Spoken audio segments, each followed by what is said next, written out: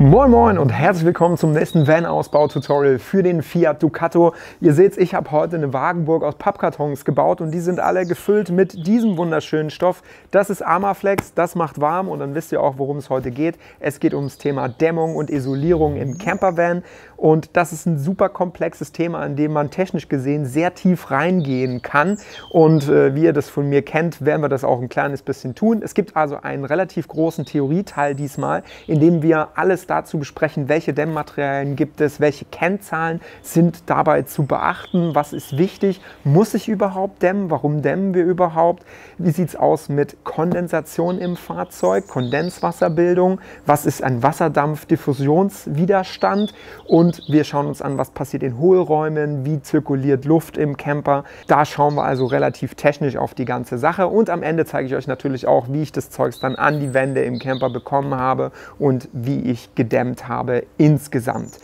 Ebenfalls, wie viel hat mich das Ganze dann am Ende gekostet und warum habe ich diesmal zum Beispiel nur Armaflex verwendet und keine Schafwolle wie im ersten Ausbau. Kapitelmarken findet ihr unter dem Video, sodass ihr dann zu dem wichtigen Spot springen könnt, der euch interessiert. Ja, und jetzt habe ich schon so ein bisschen gespoilert. Ich habe ja schon mal einen Van ausgebaut, den äh, Ford Transit und da gab es auch Videos dazu. Da habe ich auch nochmal, ich glaube, 35 Minuten langes Theorievideo gemacht, 20 Minuten Praxisvideo. Da sind schon jede Menge Informationen drin. Da gehe ich sogar nochmal ein bisschen tiefer rein. Ich habe versucht, jetzt die Informationen so ein bisschen zu kondensieren. Und wenn ihr euch aber noch weitergehend mit dem Thema beschäftigen wollt, schaut auch auf jeden Fall bei den Videos mal vorbei. Ich verlinke die euch hier oben. So, und warum ich mich jetzt hier für diesen komischen Stoff entschieden habe und warum ich den für eine gute Möglichkeit zum Isolieren im Camper halte, das schauen wir uns jetzt einmal im Theorieteil an. Zuallererst schauen wir uns mal an die Dämmmaterialien. Es gibt einen wichtigen Kennwert für die Eigenschaft eines Materials gut zu isolieren und das ist die Wärmeleitfähigkeit. Die gibt quasi an, wie einfach Wärme in Form von Energie einen Stoff durchdringen kann und es ist angegeben in Energie pro Meter pro Kelvin, also wie viel Energie quasi durch einen Meter dieses Stoffes gehen kann, bis sich die Temperatur um ein Kelvin, also ein Grad, ändert. Und da gibt es so einen schönen Wert, den kann man sich dann entsprechend anschauen. Je niedriger dieser Wert ist, umso weniger gut leitet das Material die Wärme, umso besser ist er als, also als Isolator geeignet. Man eicht das Ganze bei 0 Grad und schaut sich dann an, wie das für die verschiedenen Stoffe sind. In unserem Fahrzeug, das besteht hauptsächlich natürlich aus Stahl und Aluminium, Metalle, die sind sehr gute Wärmeleiter. Das heißt, sie transportieren die Wärme sehr, sehr gut von einem Punkt zum anderen. Bei Glas wird das Ganze dann schon weniger. Wasser, Holz, seht ihr, ist auch kein schlechter Isolator, deswegen ähm, kann man das auch durchaus nehmen. Es gibt ja auch Holzhütten, die gebaut werden. Ähm, Kork ist auch ein Dämmstoff, der natürlich ist und gerne genutzt wird äh, in so, sage ich mal, ökologischen Ausbauten. Kork hat aber einen Nachteil, den kommen wir später noch mit dazu. Wolle 0,035 und dann kommt Armaflex, dieser Kautschuk-Isolator, den ich auch schon im letzten Ausbau genutzt habe, auch dieses Mal wieder benutzt habe, der ist ein ziemlich guter Isolator. Also er leitet die Wärme sehr, sehr schlecht und genau das wollen wir da haben. XPS, PUR, das sind so ähm, Kunststoffe und ihr seht auch Luft, also Luft an sich ist auch ein sehr, sehr guter Isolator eigentlich. Jetzt könnte man sagen, ja, dann brauche ich ja gar kein zusätzliches Dämmmaterial. Ich dämme einfach mit Luft.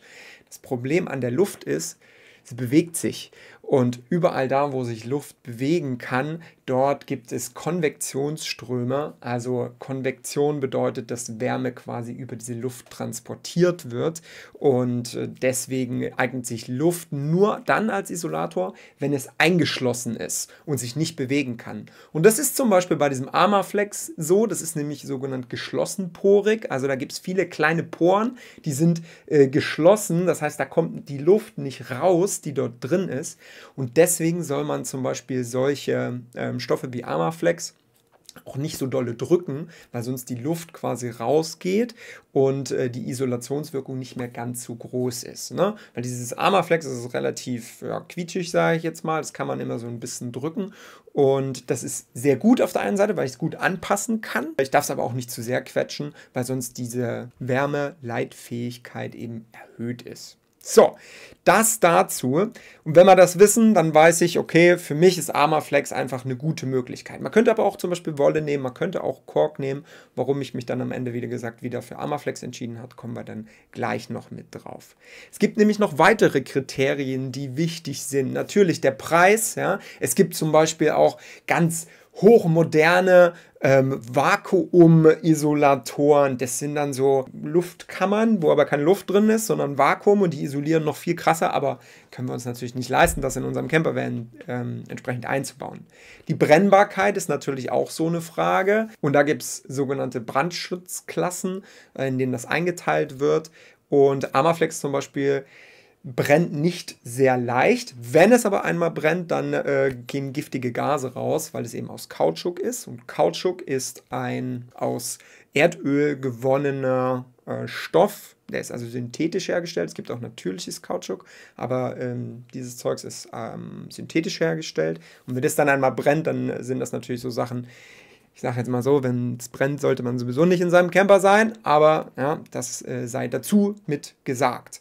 Dann natürlich kommt man an die Stoffe ran, Verfügbarkeit, ähm, Ökologie, wie sieht es aus mit der Herstellung. Ne? Kork zum Beispiel, nachwachsender Rohstoff, ähm, wird aber auch zum Beispiel in äh, Portugal in so Korkeichenwäldern hergestellt und muss dann auch erst nach Deutschland gefahren werden. Holz muss natürlich auch transportiert werden, Wolle, ja, wenn man es jetzt von Schafen zum Beispiel nimmt, wie ich es im ersten Ausbau auch mit Schafwolle gedämmt habe, dann äh, ist das zum Beispiel ein sehr, sehr guter Rohstoff, weil der äh, nachhaltig produziert werden kann und nachwächst. Plastik, XPS, PUR, ne, ist natürlich dann auch wieder die Frage, lässt sich nicht biologisch abbauen.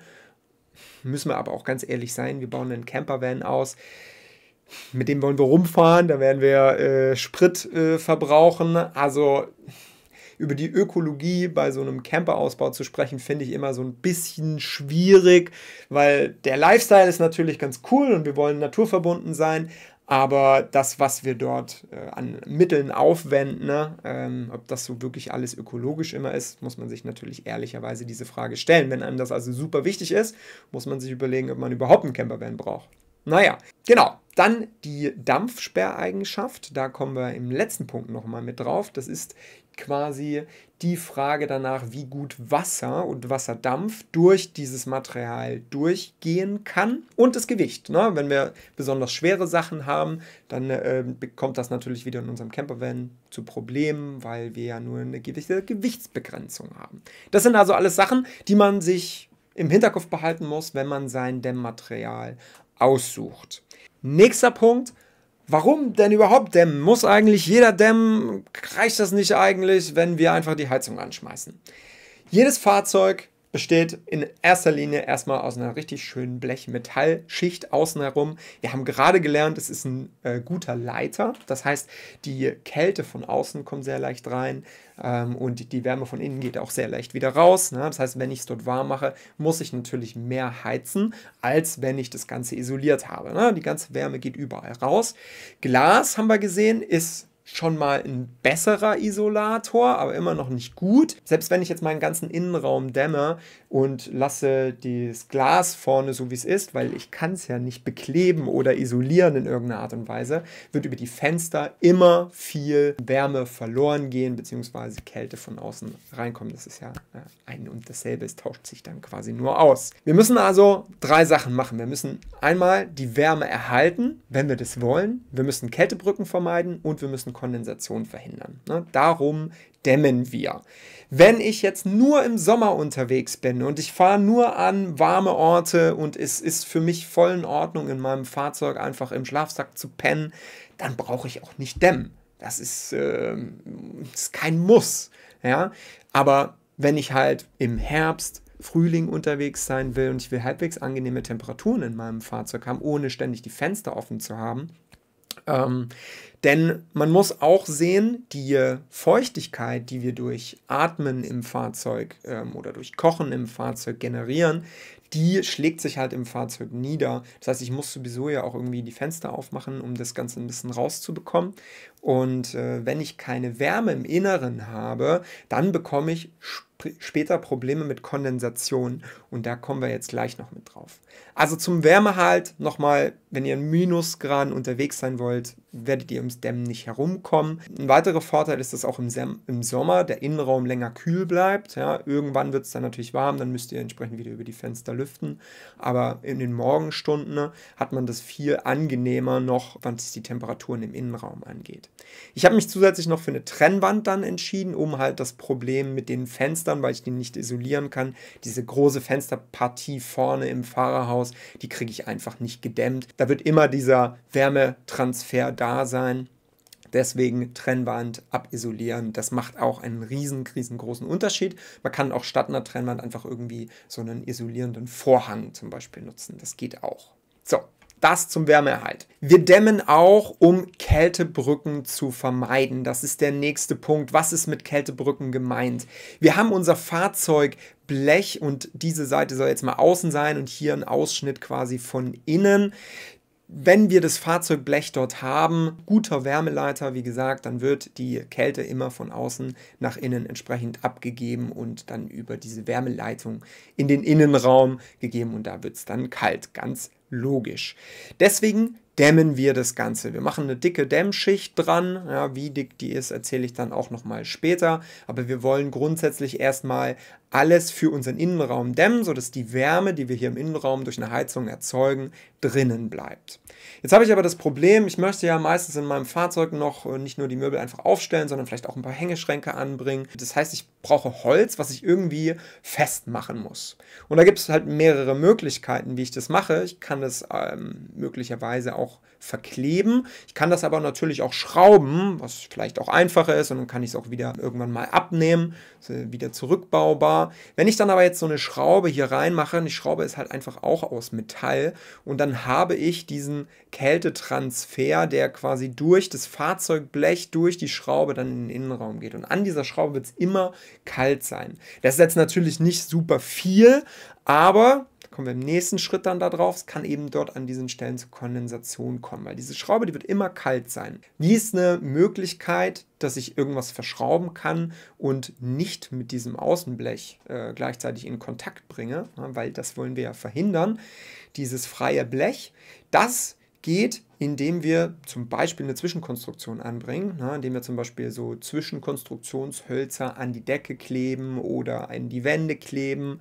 und äh, dann nochmal eine ganz dünne Tape Armaflex-Schicht zum Beispiel aufbringen. Wer das Bodenvideo gesehen hat, der weiß, dass ich das an der Stelle schon gemacht habe. Das sind quasi diese Gründe dafür.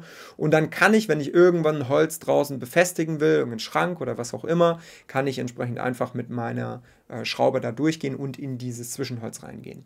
Und wir haben ja auch schon gehört, dass Holz ein ziemlich guter Isolator ist. Deswegen ist es gar kein Problem, wenn zum Beispiel das Holz dann an diese Außenwand, diese Blechaußenwand ähm, mit rangeht. So, jetzt habe ich die ganze Zeit schon von Kondenswasser geredet. Was ist denn das jetzt, dieses blöde Kondenswasser und warum ist das ein Problem im Van? Dazu schauen wir uns diese Grafik an, nicht erschrecken. Was hier zu sehen ist, ist einfach nur auf der, dieser Achse, wie viel Wasser enthält die Luft und hier die Temperatur. Und dann gibt es verschiedene Kurven und diese 100% Kurve, das ist für uns das Relevante, weil das ist diese Kurve, die uns sagt, wie viel Wasser kann die Luft aufnehmen, bevor das Wasser quasi gesättigt ist, deswegen heißt es auch ähm, Sättigungskurve, und die Luft dieses Wasser nicht mehr halten kann. Wir nehmen mal ein ganz einfaches Beispiel. Ich habe 10 Grad bei mir im Fahrzeug und meine Luft besteht aus ja, etwas weniger als 10 Gramm pro Kubikmeter Wasser. Ja, es gibt so Luftfeuchtigkeitsmesser, mit denen kann man das dann entsprechend auch genau messen. Und dann sehe ich hier an dieser Stelle, ja, das ist genau diese 100%-Kurve, wo sich das trifft. Wenn es jetzt noch kälter werden würde, würde dieser Punkt immer weiter nach links wandern und die Luft ist nicht mehr in der Lage, das Wasser aufzunehmen. Das heißt, sobald ich auch irgendeinen kälteren Punkt in meinem Fahrzeug habe, wird sich an dieser Stelle Kondenswasser, dieses Wasser, was von der Luft nicht mehr gehalten werden kann, wird sich absetzen. Und an dieser Stelle habe ich dann wirklich Wasser. Und weil ich diesen Punkt im Van schon hatte, weil jetzt aktuell ist er ja noch nicht gedämmt, möchte ich euch einen kurzen Videoausschnitt zeigen, wo man das exakt so sieht, damit ihr euch daran da was drunter vorstellen könnt. Weil man das gerade so schön sieht hier im Van, möchte ich euch einmal was zeigen. Der Grund dafür, dass wir alles Blech irgendwie mit Armaflex entsprechend ummanteln wollen, ist, das hier. Sieht man das? Sieht man, wie hier überall an der Decke Wasser ist? Ja, jetzt sieht man es auf jeden Fall. Seht ihr das? Das ist dieses Tauwasser, was sich da entsprechend überall niederschlagt. Das ist dieses Kondenswasser, was sich überall an so kalten Bauteilen nach außen niederschlägt. Und da kannst du machen, was du willst. Das wird sich immer niederschlagen, weil die Luft dort einfach dann an der Stelle gesättigt ist, weil es so kalt ist. Warme Luft kann mehr Feuchtigkeit aufnehmen und an diesen kalten Fronten setzt sich dann überall die Feuchtigkeit ab. Und das ist das, was irgendwann zum Problem werden kann. Und deswegen wollen wir diesen Innenraum überall schön mit Amaflex dämmen, weil hier, da schlägt sich das gar nicht wieder. Und selbst an den Stellen, wo man schon weiß, äh, wo das in der Nähe schon ist, auch das macht das schon ein bisschen wärmer. Und dann sieht man, das fängt erst äh, hier so, da so fängt es an. Also das ist entsprechend das Wichtige, warum wir das überhaupt machen mit der Isolierung, weil ihr wollt nicht die ganze Zeit, dass es von der Decke tropft. Vor allen Dingen nicht, wenn ihr eben in kalten Temperaturen im Winter unterwegs seid. Und deswegen jeder Winterausbau bitte gut isolieren. Und das ist auch der Grund, warum wir wirklich alles armer flexen wollen und kein Blech mehr sehen wollen. Weil genau an der Stelle, wo dann ein bisschen Blech zu sehen ist, wird sich diese Feuchtigkeit niederschlagen. Und das wollen wir nicht. Genau. Deswegen alles schön armer flexen. Und dann fragt, sich fragt ihr euch natürlich trotzdem, wie kommt die Feuchtigkeit denn raus? Weil die Feuchtigkeit ist ja da. Raus kommt die Feuchtigkeit dann immer über die Fenster, über die Ventilatoren, einmal raus aus dem Fahrzeug. Deswegen muss man ja auch immer gut lüften. Das ist genauso wie bei euch zu Hause im Haus. Da müsst ihr auch gut lüften, damit es nicht anfängt zu schimmeln. Gerade in den Nassräumen wie Dusche etc. pp. Genau. Deswegen, und weil man das hier gerade so schön gesehen hat, wollte ich euch das nochmal zeigen. Wie können wir das jetzt also verhindern, indem wir eben isolieren und die Temperatur im Fahrzeug höher bringen? Das wenn wir jetzt mal zum Beispiel im Fahrzeug auf 20 Grad heizen, ja, dann sind wir schon nur noch, wenn wir hier so schauen und hier so eine Linie nehmen würden, dann sind wir irgendwo ein bisschen unter 60 Prozent, weil bei 55 Prozent Luftfeuchtigkeit oder so. Und da wird sich dann entsprechend keine Feuchtigkeit absetzen. Ne? Die Luft behält einfach diesen Wassergehalt, den sie hat und es ist auch gar kein Problem. Über unsere Fenster und Luken, die wir haben, können wir ganze, die Feuchtigkeit auch wieder rausbringen. Ähm, Sobald es aber quasi irgendeine Stelle gibt, die wieder kälter ist, ja, da kann sich dann wieder, sobald wir unter diese 100 oder über diese 100 Prozent quasi kommen, kann es zu Kondensation kommen. Ne? Und das gilt es quasi zu verhindern. Verhindern, das ist so ein bisschen der physikalische Hintergrund. Das dazu und aus diesen drei Gründen dämmen wir. Denn das Schlimmste, was uns passieren kann, ist, wenn diese Feuchtigkeit nicht mehr aus dem Van rauskommt und sich irgendwo zum Beispiel ans Holz ansetzt und dort schimmelt oder in irgendwelche Hohlräume von unserem Camper reingeht, die äh, vielleicht schon mal irgendwo ein bisschen angekratzt sind, wo ähm, kein Lack mehr drüber ist und dann fängt auf einmal unser Fahrzeugblech an zu rosten. Das wäre das Schlimmste, was passieren kann. So, deswegen Wärmeerhalt, Kältebrücken vermeiden, Kondensation verhindern. Und da habe ich jetzt ein Stichwort gesagt, Hohlräume, und die wollen wir uns noch mal noch ein kleines bisschen genauer anschauen. Wie sieht denn das, das eigentlich aus mit diesen Hohlräumen? Was mache ich mit denen denn? Da gibt es nämlich zwei Möglichkeiten. Entweder ich fülle diese Hohlräume oder ich lasse sie offen. So, einfachste Lösung, ich mache einmal rundum einfach eine äh, Schicht aus Dämmmaterial, bei mir jetzt zum Beispiel das Armaflex und kümmere mich gar nicht um die Hohlräume. Die Hohlräume bleiben einfach so, wie sie sind. Ja? Vorteil, ich habe jetzt einmal alles rundherum gedämmt in meinem Innenraum bleibt fröhlich die äh, warme Luft erhalten. Ne? Die Wärme, die wir dort drin haben, bleibt da drin. Alles ist gut, alles ist schön isoliert. Aber in den Hohlräumen, da muss man sich zumindest ein kleines bisschen Gedanken machen, diese Hohlräume sind ja mit der Außenwand verbunden. Ja? Das heißt, hier ist es immer kalt und an der Seite, wo unser Isolator dran ist, da ist es immer warm.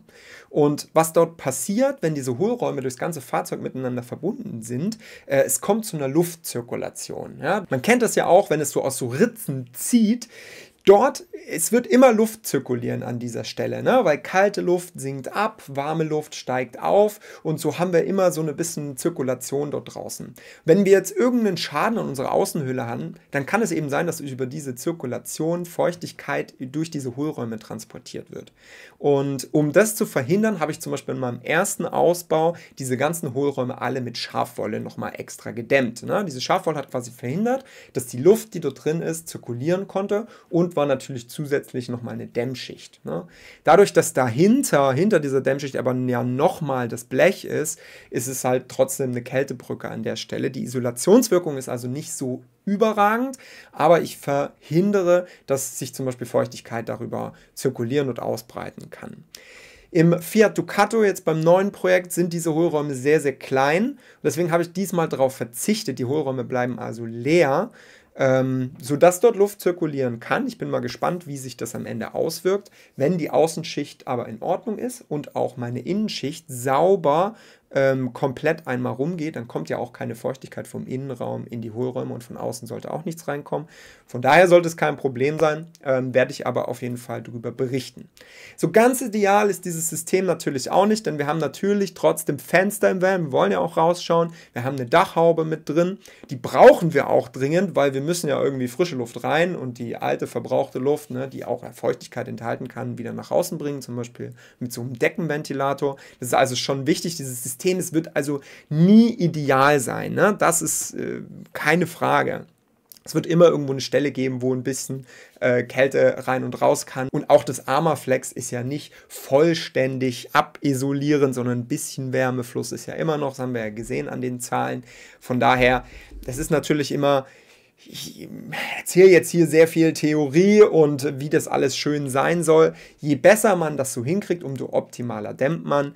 Ähm, ich bin trotzdem stark der Meinung, es gibt zum Beispiel auch Camper, die sagen hier, oder die machen das so, dass sie quasi nur eine groß, große Flächen da irgendwie so ein bisschen Armaflex drauf machen oder irgendein anderes Dämmmaterial.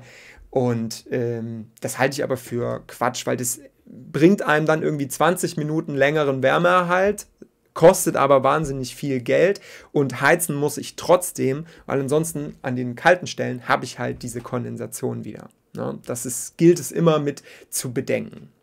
Okay. Letzter Punkt, was hat es mit dieser Wasserdampfsperre auf sich? Da geht es darum, dass Feuchtigkeit durch so Isolationsmaterialien eben auch durchgehen kann. Dafür gibt es auch wieder einen Kennwert, der nennt sich Wasserdampfdiffusionswiderstand durch Glas und Metall, ja, also durch unsere Außenwand vom Fahrzeug, da kommt zum Beispiel, da kommt keine Feuchtigkeit durch. Ja. Kannst du machen, was du willst, da kommt nichts durch. Unser Amaflex, auch sehr gute Wasserdampfdiffusionswiderstand, äh, 10.000, über 10.000 sogar. USB-Platten, ne, da habe ich auch schon mal gesagt, die sind feuchtigkeitsresistent, die USB 3-Platten, ne, die kommen aber zum Beispiel nur auf 200 und so geht das immer weiter runter. Und hier habe ich auch mal das, nochmal das Kork aufgeführt, denn äh, Kork hat zum Beispiel keine Wasserdampfsperre. Und da sehe ich so ein bisschen das Problem, wenn ich jetzt Kork vollflächig irgendwie ähm, in meinem Camper verklebe, diese Hohlräume, die dahinter sind, ne, in denen kann sich dann halt diese Feuchtigkeit sammeln. Klar, sie kann auch wieder auf die andere Seite wieder zurück, aber in diesen Hohlräumen möchte ich eigentlich gar keine Feuchtigkeit haben. Nichts, was da irgendwie zirkulieren kann, irgendwie von der Luft mitgetragen wird. Deswegen ähm, habe ich zum Beispiel mich gegen Kork bei mir im Fahrzeug entschieden. Das äh, sind am Ende die, quasi die Gründe mit gewesen. Ne? Also diese Wasserdampf, dieser Wasserdampfdiffusionswiderstand. Ne?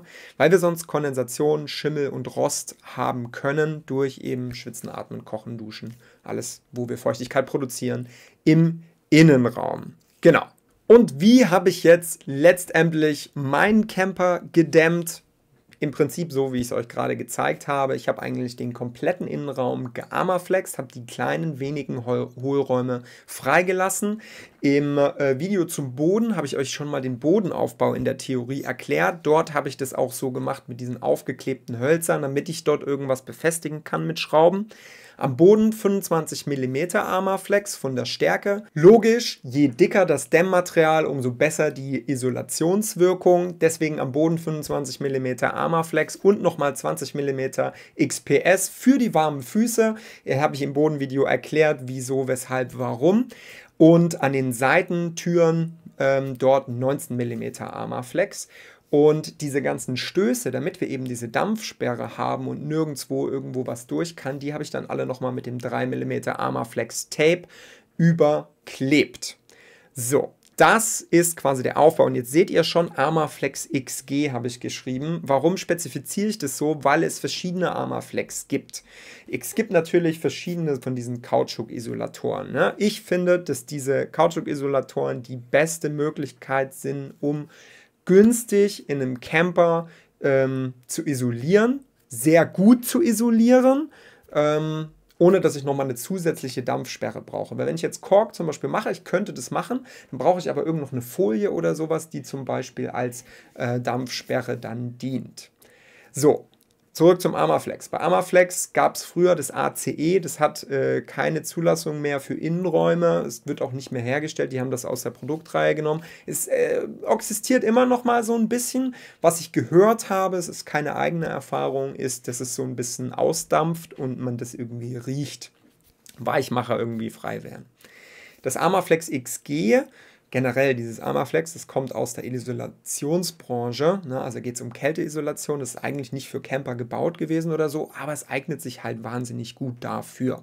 Das Armaflex XG halte ich für das Optimum aus Preis und Leistung. Das ist auch entsprechend so zertifiziert, dass da nichts ausgas und ausdünstet. Ich habe da auch in meinem ersten Ausbau, war ich super zufrieden damit, kann man bedenkenlos kaufen. Ich habe euch mal den Preis dazu geschrieben für das 19 mm dicke selbstklebende.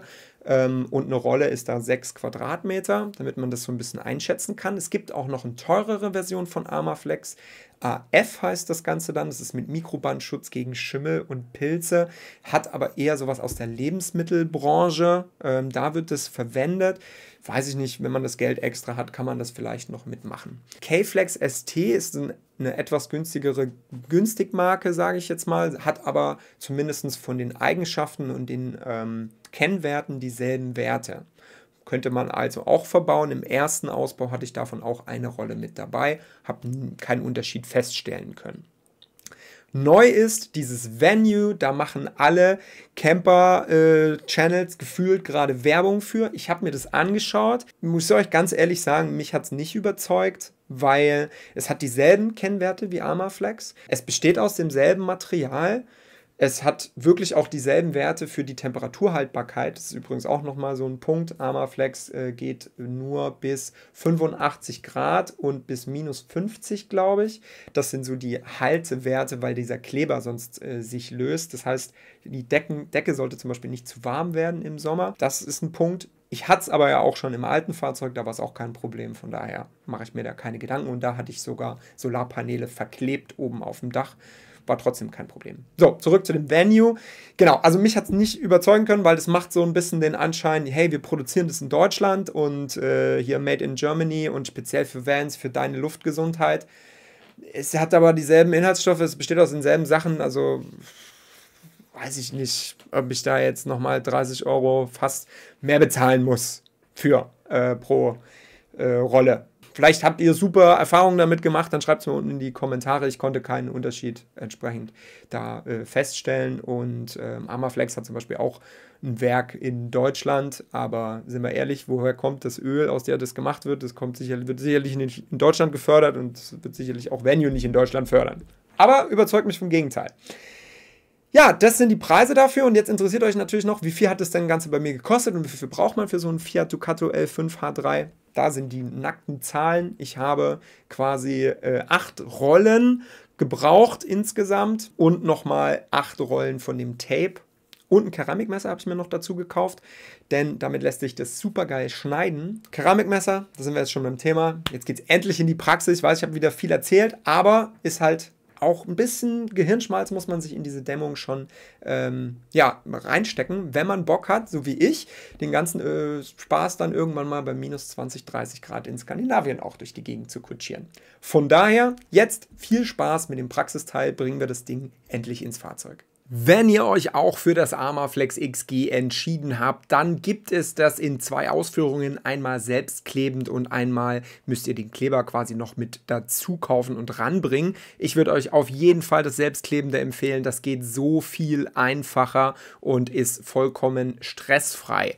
Dann braucht ihr auf jeden Fall ein Keramikmesser, irgendwas zum Anzeichnen, eine richtig große, lange Schiene, eignet sich sehr gut dafür, um dann das Messer dort entlang zu führen. Diese Keramikmesser wären recht schnell stumpf, kauft euch da ein günstiges und äh, verwendet es nie wieder, weil danach, wie gesagt, wird es stumpf sein. Denn ihr werdet verdammt viel schneiden müssen. Man versucht natürlich, die Flächen so groß wie möglich zu halten, um das Armaflex dann quasi direkt von der Rolle in großen Bahnen anzubringen.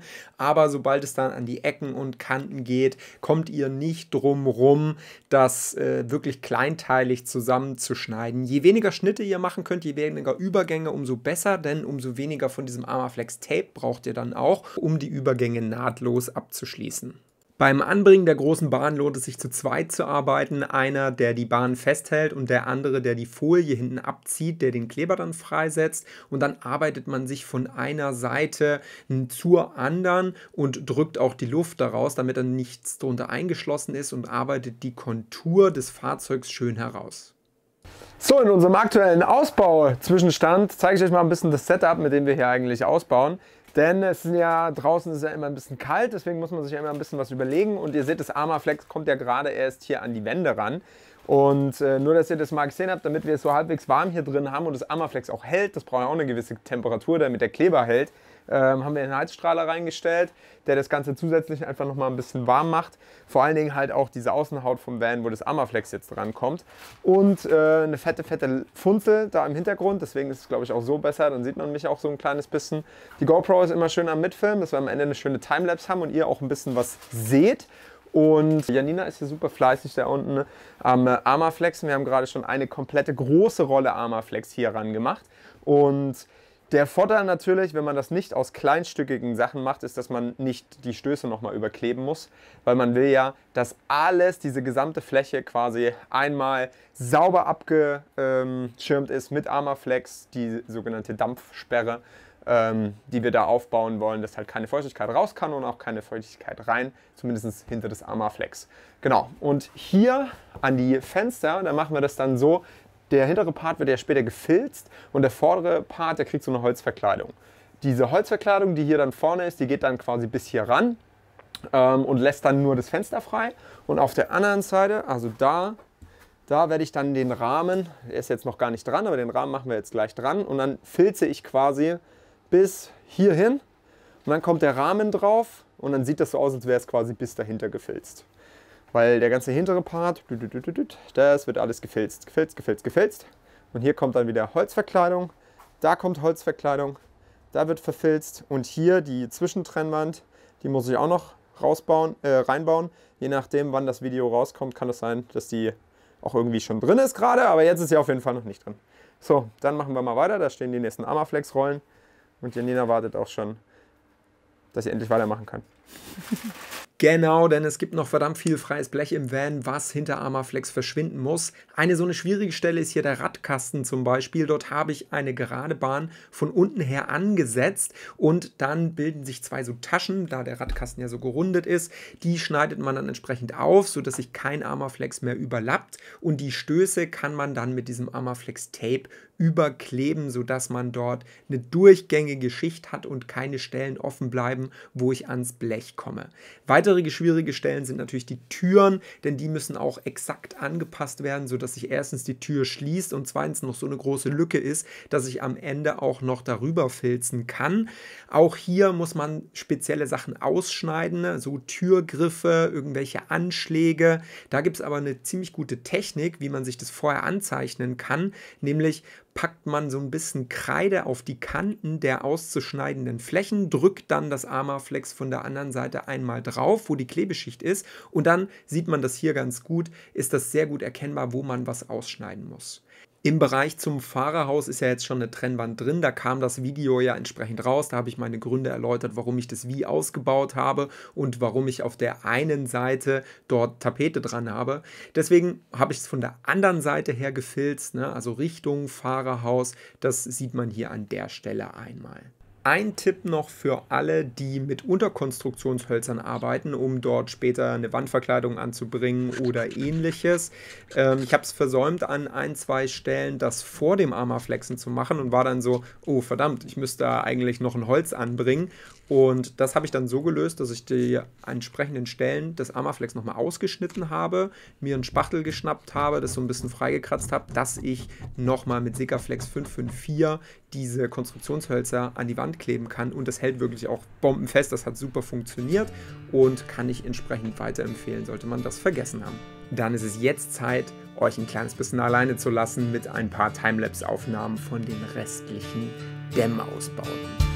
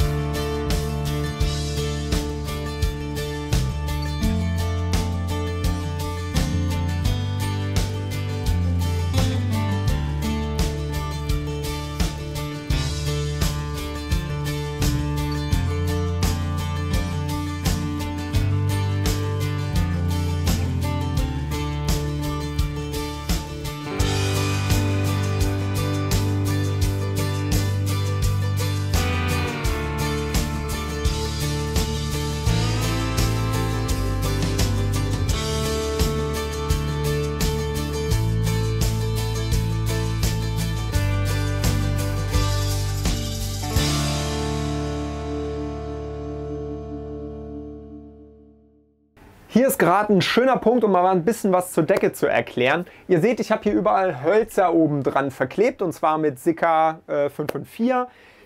Super geil, weil hier an das Teil, da kann ich mich ranhängen. Das kriegt man nicht mehr ab. Ja? Ist natürlich auch ein Nachteil, falls man es irgendwann mal wieder abmachen möchte, aber habe ich ja nicht vor. Das ist quasi die Konstruktion, an der ich meine ganze Decke befestigen möchte. Genauso wie wenn man irgendwo an der Seite noch was festmachen möchte. Da seht ihr, habe ich hier auch Hölzer mit angebracht. Die Hölzer sind auch dafür da, dass ich dann später hier so eine ähm, Holzwand noch anbringen kann, ähm, die dann die Küche sauber abschließt. Seht ihr dann, wenn es soweit ist. Die Hölzer sind jetzt natürlich direkt auf das Blech aufgeklebt. Das heißt, ich habe da keine Chance mehr Armaflex drunter zu bekommen. Deswegen habe ich hier so Armaflex Tape genommen. Hier hinten seht ihr schon, die ganze Fläche ist jetzt schon äh, Armaflexifiziert, wie ich es nennen möchte. Ähm, und so mache ich das dann hier auch überall. Also auf das Holz drauf kommt nochmal diese dünne Schicht Armaflex Tape. Warum? Um diese durchgängige Dampfsperre zu erhalten, dass eben keine Feuchtigkeit irgendwo aufs Blech kommt. Ja? Das ist mir von dem Konzept her, wie die Dämmung ist, einfach extrem wichtig. Ich möchte nicht, dass sich da Kondenswasser irgendwo sammelt oder bildet. Deswegen dieses Armaflex Tape. Genau, und so wird jetzt sehr langsam, langsam der Van komplett armaflexifiziert und es ist kein Blech dann am Ende mehr da. Und dann können wir so richtig mit dem äh, Innenausbau starten. Ja.